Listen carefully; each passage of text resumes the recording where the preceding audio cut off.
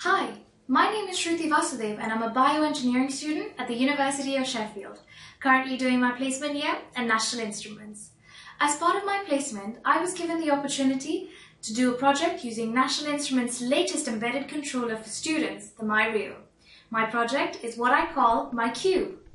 My cube is an LED cube made up of 64 LEDs in a 4x4 matrix that a user can program by switching on or off any or every LED to create various interesting animations. In this video, I'm going to highlight the major hardware and software aspects of my cube. Let's use the Rubik's Cube to understand the hardware setup better. The 64 LEDs are stacked together in such a way that every layer of 16 LEDs has a common cathode. Because there are four layers, there are four cathodes. These cathodes are then connected to the myRIO via a Darlington transistor array, which connects them individually to ground. Note that only one cathode can be connected to ground at one time. Therefore, only one layer can be enabled or lit up at one time. Every column or every four LEDs going downwards have a common anode. This gives us a total of 16 anodes. These are then connected to the myRIO via buffers which amplify to give more current than the myRIO can supply.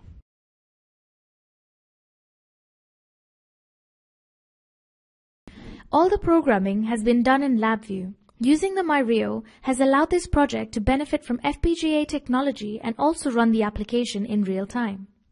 My host communicates with the real-time target, which in this case is the myRIO, using USB or Wi-Fi and the real-time target communicates with the FPGA using a FIFO. If I open up my project, you can see that on my host I have an animation maker VI. Using this VI, I can create animations by switching on or off any LED in any layer.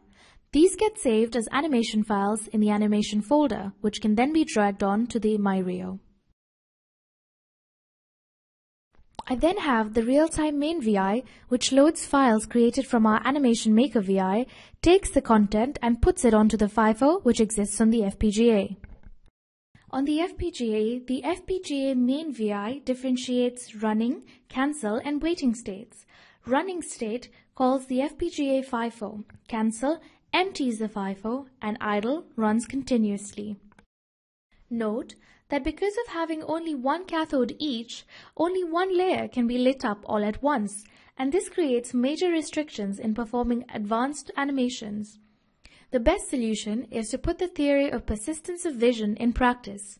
Making use of this theory, I have decided to switch each layer on and off so quickly that the human eye cannot spot it, and it appears as if all layers light up simultaneously when in reality only one layer is lit up at one instance.